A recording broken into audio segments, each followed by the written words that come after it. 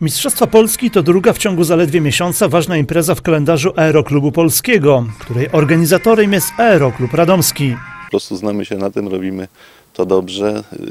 Środowisko lotnicze też na ten temat y, się dobrze wypowiada, że jesteśmy dobrym organizatorem.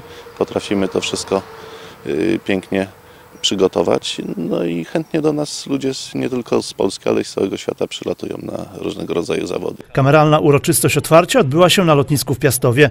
Byli obecni m.in. prezydent Radomia Andrzej Kosztowniak, wójt gminy Jedlińsk Wojciech Walczak i pułkownik Adam Ziółkowski, dowódca 42. Bazy Lotnictwa Szkolnego w Radomiu.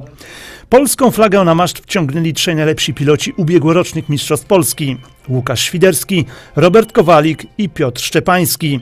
Mistrzostwa otworzył prezydent Radomia Andrzej Kosztowniak. Wszystkiego najlepszego na ziemi radomskiej. Bawcie się, rywalizujcie e, i wygrywajcie. Szanowni Państwo, 48. Mistrzostwa Polski w akrobacji samolotowej uważam za otwarte. Obok pokazów Airshow, Mistrzostw Świata i Europy w akrobacji samolotowej, Mistrzostwa Polski w tej akrobacji, które właśnie się rozpoczęły, mają budować lotniczą markę Radomia i regionu. to markę jako Radom i, i, i Piastów i gmina Jedlińsk, bo to też trzeba bardzo jednoznacznie powiedzieć, budujemy od wielu lat y, i wydaje się, że rzeczywiście została zbudowana marka miejsca, które na y, mapie lotniczej y, jest rozpoznawalne na całym świecie.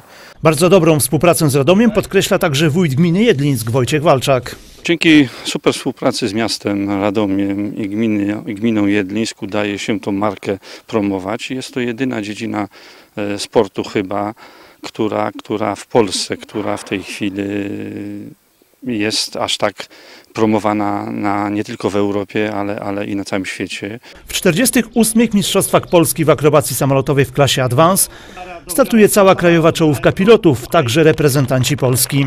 Wśród nich jest jedna kobieta, Agata Nyka z Aeroklubu Wielkopolskiego. Do dyspozycji pilotów jest 8 samolotów typu Extra 330. Mistrzostwa potrwają do najbliższego piątku. Uroczyste zakończenie zawodów odbędzie się w sobotę 13 września o godzinie 17 Radomskiej Resursie w ramach Uliczki Tradycji.